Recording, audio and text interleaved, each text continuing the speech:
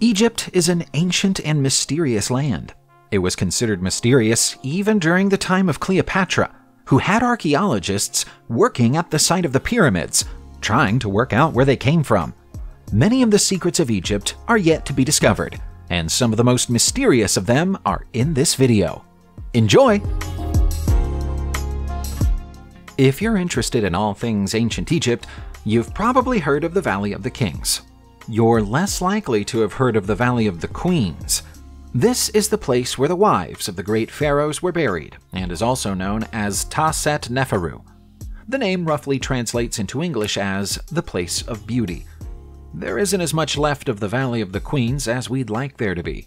Most of the remaining tombs are inside the main wadi, which runs alongside the Valley of the Rope and the Valley of the Three Pits. At least 91 tombs exist in the valley, although it's highly likely there are more that haven't yet been discovered.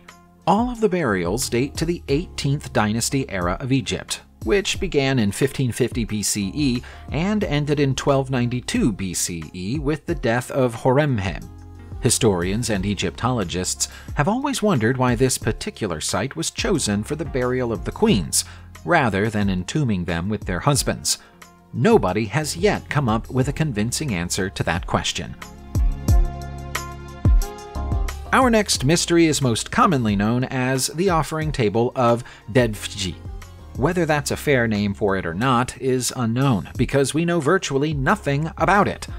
You'll find it in the Leiden Museum of Antiquities in the Netherlands, where it's been since 1830. It's an alabaster disc, probably a tabletop, that was created around 5,000 years ago. What makes it so unusual is the complex series of designs and inscriptions that cover its surface, which remind some observers of a circuit board, or possibly even a series of control panels. There are a few small holes drilled into the surface of the disc, which would possibly have provided a space for candles to be inserted into it, or possibly for oils to be stored. An object with such a humble purpose surely wouldn't have been decorated so elaborately, though. What are these markings? Might they be instructions of some kind? If we could understand them, would they tell us what the disc was used for? Historians say that it probably had a religious or ceremonial purpose, but then again, that's what historians tend to say about every artifact that they don't understand. So many amazing artifacts have been discovered in Egypt that occasionally, some of them get lost.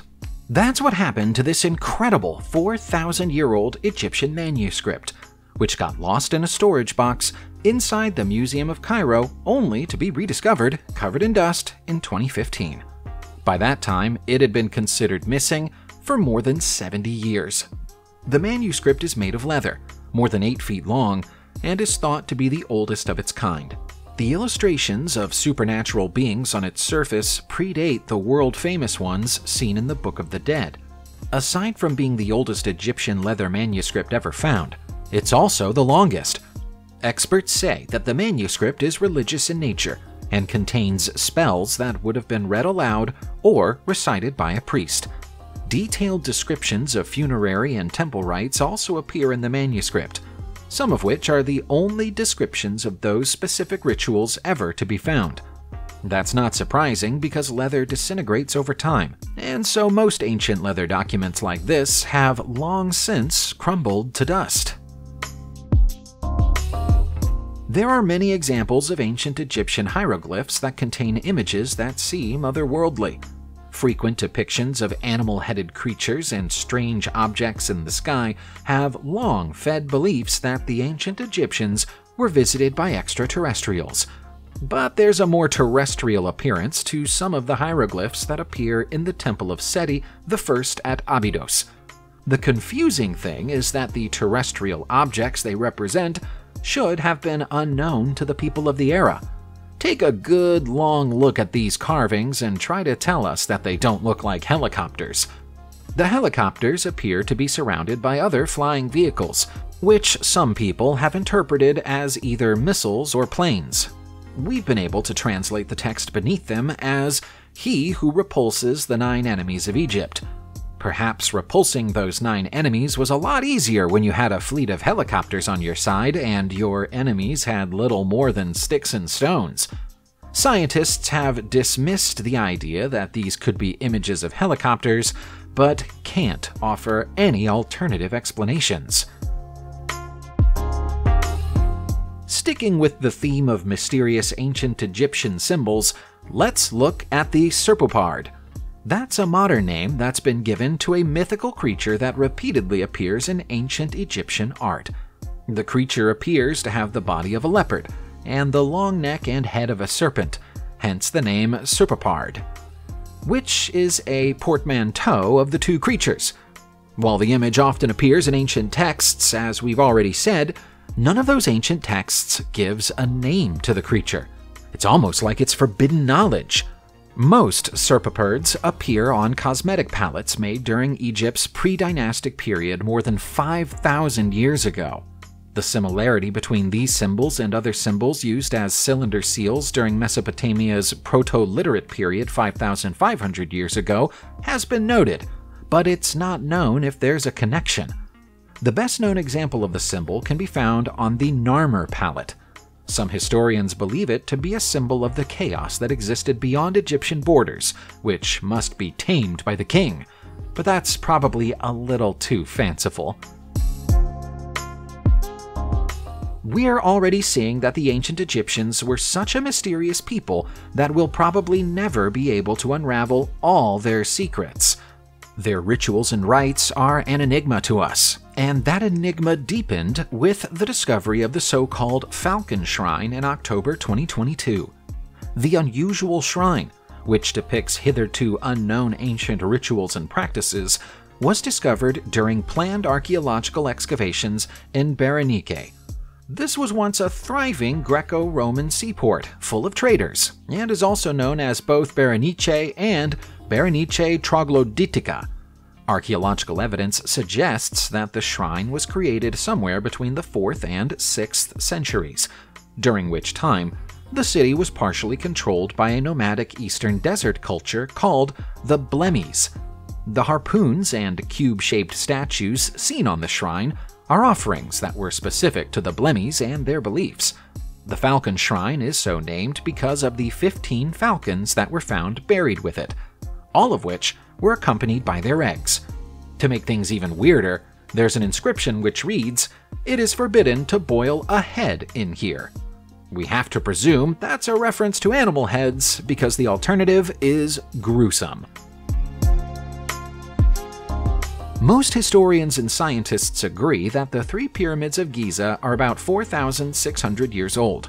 Why then were symbols that appear to represent the three pyramids painted onto the side of an ostrich egg 5,000 years ago. Hunting ostriches and taking their eggs as trophies was a common leisure activity for Egyptians during pre dynastic times, but that's not really what we're discussing here. This troubling egg was found in a Nubian tomb, created by the Naqada culture more than 5,000 years ago. It can be scientifically proven that the egg is 5,000 years old. The age of the pyramids cannot be scientifically proven because they're made of stone, and you can't carbon date stone. It's hard to deny that the paintings represent the pyramids because the Nile is visible, running down the correct side of them based on their position. The only sensible conclusion to reach is that we've got it wrong about the age of the pyramids, and they were built at least four centuries earlier than we currently believe.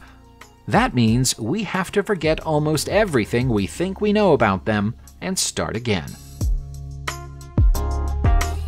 While we're talking about pyramids, let's talk about one that you might never have heard of before. It's the Pyramid of Djedefre, which is today little more than a set of ruins in Abu Rawash. It's the northernmost pyramid ever built in Egypt, as far as we're aware, and most historians say it was built by Djedefre, son and heir to King Khufu 4,500 years ago. It's obvious that the pyramid was never finished, but we don't know why it was never finished, or how close to being finished it got. It was thought for a long time that it was only about one third complete at best, but more recent studies carried out by Michael Baud from the Louvre concluded that it was well over half finished at the time the construction work mysteriously stopped.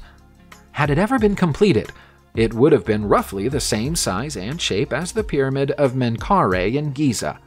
Legends say it was more beautiful than the pyramids of Egypt, with an exterior made of imported granite that had been polished and a large pyramidion on top. These legends require the pyramid to have been finished, though. So, why do they exist if we're so sure that it wasn't? We're not done talking about lesser known pyramids yet, because we've got another one to discuss. Or, rather, something that was found close to it. We're talking about the Meidum Pyramid, which is 4,600 years old and has almost completely collapsed. It was the site of a mysterious discovery in February 2009 when the skeletal remains of a 13 year old girl were found there. She was found buried in what was described as a squatting position inside a tomb at the foot of the pyramid. No other bodies have ever been found inside or even close to the Meidum pyramid, which archaeologists believe may have been built for the pharaoh Snefru over 4,500 years ago.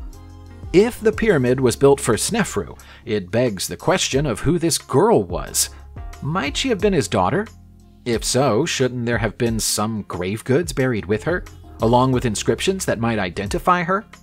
The discovery is interesting because it seems so out of place, and the mystery of her identity hasn't been resolved in the years since it happened. The pyramids of Egypt are well known for their lack of human remains, which leads many people to question whether they were ever really tombs at all. Sometimes archaeological artifacts are exactly what they sound like. That's the case with the colossal statues of Akhenaten at East Karnak. They're massive statues, they're in East Karnak, and they depict the 18th dynasty pharaoh Akhenaten. The king was also known as Amenhotep IV and Amenophis IV, so he was a man of many names. That isn't especially uncommon for an ancient Egyptian king, but what's uncommon about these statues is that they're distorted. That's atypical for statues made in Egypt 3,350 years ago, and is generally unusual for Egyptian statues of any era. The statues were broken into fragments when they were found, but they've been put back together and are now in the Egyptian Museum in Cairo. The largest of them, when complete, would have been over 40 feet tall and depicted the pharaoh with a bloated stomach, skinny arms, and elongated facial features. Another of the sculptures shows the pharaoh nude, but without genitals, for an artist to depict the pharaoh in such an apparently unflattering way would be tantamount to suicide. But there's no way that statues of such size were made without the king's approval. If there's a symbolic meaning to the distortions, we don't understand it. We're back to mysterious symbols again now. More specifically, we're talking about the sacred symbol of the Djed pillar. It's not an actual pillar, it's a symbol that looks like a pillar with three crossbars. While we've successfully translated enough ancient Egyptian hieroglyphs to understand the language, we've never been able to make sense of this enigmatic symbol. One of the more out there theories about its meaning is that it represents the spine of the great god Osiris, based on a myth about Osiris becoming entombed inside a coffin around which a tree grew, only for the tree to become a pillar of a palace with the coffin still inside it. Egyptian myths are nothing if they're not colorful. According to that interpretation, the symbol represents stability. Another interpretation is that it's a fertility symbol, which is why it's often surrounded by reeds or trees. It's tempting to believe the fertility theory, but amulets bearing the Djed pillar have sometimes been found near the spines of mummies in their sarcophagi. The bizarre tale of the spine of Osiris is, therefore, more likely.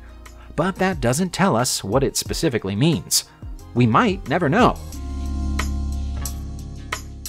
The Rhind Papyrus is both a remarkable and important document because of what it tells us about ancient Egyptian knowledge of mathematics. Rhind isn't an Egyptian name. The document takes its name from the fact that it was purchased in Luxor in 1858 by the Scottish antiquarian Henry Rhind. Scientists have dated the papyrus to around 1550 BCE, when it was written by a scribe named Ahmes. Ahmes worked hard on the script. It's more than 16 feet long. He opens with an introduction, proclaiming that the manuscript will provide, and this is a direct translation, an accurate reckoning for inquiring into things and the knowledge of all things, mysteries, and secrets. The text is divided into sections, with the first section dealing with arithmetic and algebra, and the second section dealing with geometry.